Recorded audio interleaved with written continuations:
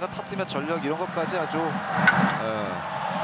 2루 잘 잡았습니다. 2루 잡아서 1루 1루에서 1루에서 1루에서 아웃.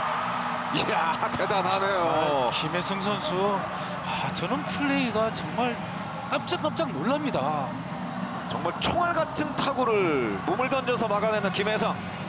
백핸드로 다이빙 캐치를 해서 저 타이밍 잡기도 어려운 걸 정말 좋은 플레이 해줬습니다. 네, 송구가 약간 빗나가긴 했습니다만 최주환도 아주 잘 잡아냈습니다.